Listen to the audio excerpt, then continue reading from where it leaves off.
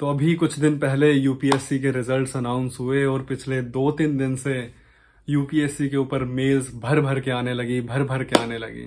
तो मैंने क्या किया है कि तीन चार जो मेल्स आई है ना, उनके मैंने जो क्वेश्चन है उनको मिक्स कर रहा है और फिर मैं आपको बताता हूँ कि सवाल क्या है और फिर आगे बात करते हैं। तो बहुत कोशिश की, बहुत मेहनत की, इस बार नहीं निकला एग्ज़ाम बहुत कोशिश की, बहुत मेहनत की, डर लगता है, इतनी कम सीटें हैं, क्या होगा, आगे जाकर क्या होगा फ्यूचर घर छोड़कर आए हैं गाँव से माँ बाप को क्या जवाब देंगे? एज निकलती जा रही है। डर होना ज़रूरी भी है। अगर हमारे मन में इतना सा भी डर नहीं होगा तो हम कैसे आगे बढ़ेंगे? पर यह भी नहीं कि इतना ज़्यादा डरे हुए हो कि यार उसके पीछे बिल्कुल पागल हो गए। हाय रब्बा हाय रब्बा हाय रब्बा, और पता चले पैनिक अटैक आने शुरू हो जाए। हर एक चीज़ ना लिमिट में होनी ज़रूरी है। एज निकल जाना, लोग क्या, यार सबसे बड़ा ना यार ये कि लोग क्या कहेंगे? भाई क्या कहेंगे? पढ़े लिखे हो ना आप तो। ग्रेजुएशन की, उसके बाद सो कोल्ड आप यूपीएससी की तैयारी कर रहे हो, जहाँ पर सबसे अच्छी बात ये होती है यूपीएससी की जो लोग तैयारी करते हैं कि वो इतनी चीज़ें पढ़ते हैं और उनको नॉलेज बहुत ज़्यादा हो जाती है। मतलब आप यूपीएससी की तैयारी के बाद अगर आप एक सक्सेसफुल आईएएस ऑफिसर बनो ना बनो, कोई बहुत अच्छी रैंक पे आप पहुंचो ना पहुंचो, आपकी जो नॉलेज है ना वो ज़रूर बढ़ जाती है यार। तो यार इतने पढ़े लिखे होने के बाद आप किसकी फ़िक्र कर रहे हो? जो शर्मा जी जिन्होंने खुद बारहवीं मुश्किल से पास की थी। वो गुप्ता जी, जो अपनी बीवी से रोज लड़ते हैं, कि इतने पैसे कहाँ लेके जाती हो, जबकि बीवी फिर कहती है कि तीस हज़ार तो गिन के कमाते हो, तुम उसमें ही पूछते हो कि पैसे कहाँ उड़ा देती हो। तो उस शर्मा जी, गुप्ता जी, वर्मा जी की बातों से परेशान वो हो रहा है जिसने यार इतनी ज़्यादा पढ़ाई की है। मैं कोई पर्टिकुलर यूपीएससी की बात नहीं कर रहा, मैं बात कर रहा हूँ हर उस कॉम्पिटेटिव एग्ज़ाम की जिसमें कोई भी स्टूडेंट अपियर होता है और वो डिमोटिवेट होता है। क्योंकि यार मैंने भी फेस किए हैं एग्ज़ाम्स और मैं डर समझ सकता हूँ। उसके बाद जो रिज़ल्ट जब हम देखते हैं, वो जो पैर काँप रहे होते हैं, ये सब फेस किया यार मैंने भी। बट अगर आज मैं जहाँ पर बैठा हूँ ना और मैं पीछे मुड़कर देखता हूँ, मैं सोचता हूँ कि यार, क्या सच में इतना प्रेशर लेना सही था उस टाइम पे? तो मेरा जवाब ना होता है। बिकॉज़ आई बिलीव की जो लाइफ है ना, वो आपके ऊपर hundreds of thousands of opportunities throw करेगी। अब उन शर्मा जी, वर्मा जी, गुप्ता जी, इनकी बातों पे तो आप ध्यान देना बंद कर दो।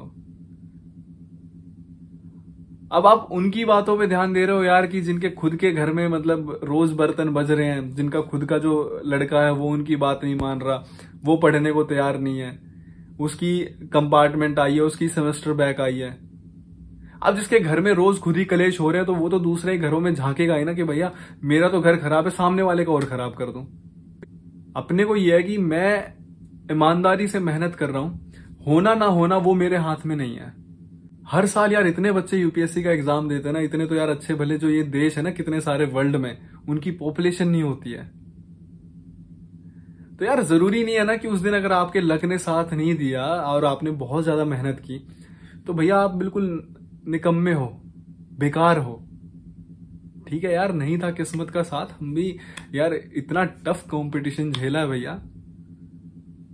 कितने ऐसे देश हैं जिनकी आबादियाँ इतनी नहीं है जितना भैया हम कंपटीशन झेल जा रहे हैं एग्ज़ाम में।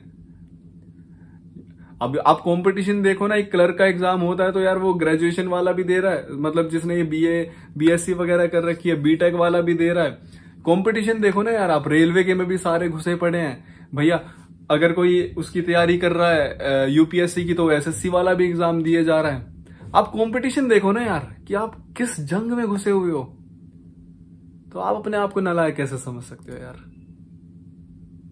कामयाब होना या ना होना ना, ये डिसाइड नहीं करता है कि आप क्या हो। आपकी मेहनत डिसाइड करती है। तो अपने आप को कोसना बंद करो, अपने आप से डरना बंद करो सिचुएशन से डरना बंद करो। जो सामने है, वो फेस करो। और एक चीज़ याद रखना हमेशा कि तुम नालायक नहीं हो। अगर सिलेक्शन नहीं हुआ तो तुम निकम्मे नहीं हो। मे बी जो ये हमारी पेरेंट्स की जनरेशन है मे बी वो ना समझ पाए।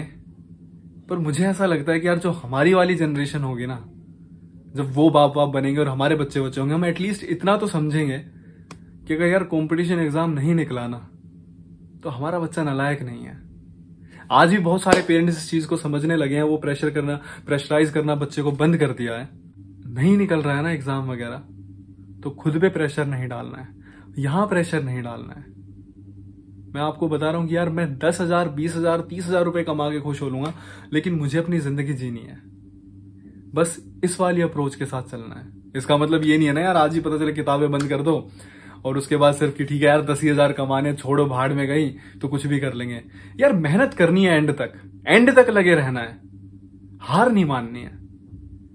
और जब बिल्कुल एंड तक लगे रहो ना, जहाँ तक तुम लग सकते हो, अगर तुम्हें वो रिज़ल्ट ना मिले ना डिजायर्ड वैसे तो ऐसे बहुत कम होगा।